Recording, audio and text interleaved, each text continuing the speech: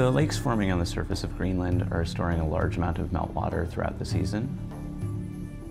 Sometimes you see really shallow, kind of lagoon, almost snow swamp sort of things, all the way up to lakes that are almost 30 feet in depth.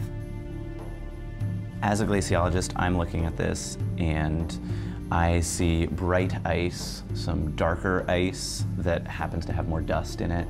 I see really bright snow. I see the lakes.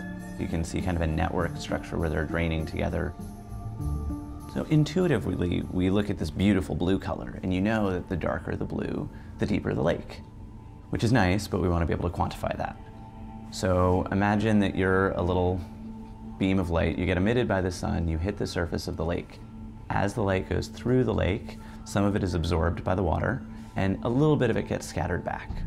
Then the light hits the bottom of the lake, and a bunch gets returned, reflected, goes back through the, the column of water in the lake, and that's what Landsat can see. So we need to be able to understand how much energy is being absorbed by the water, what the reflectance of the bottom of the lake is, and what proportion of light is being scattered back by the water. Once we have those three pieces of information and what the brightness that particular pixel is, then we can say how deep the water is in the lake there. These lakes are darker than the ice around them, so they're going to start absorbing more energy from the sun and melt more. A little bit of melt concentrates in one place and then melts more, which melts more, and it's a feedback mechanism.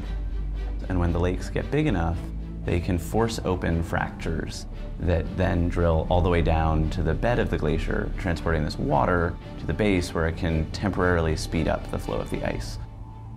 And so we're interested in the lakes because they might be important for speeding up the ice sheet.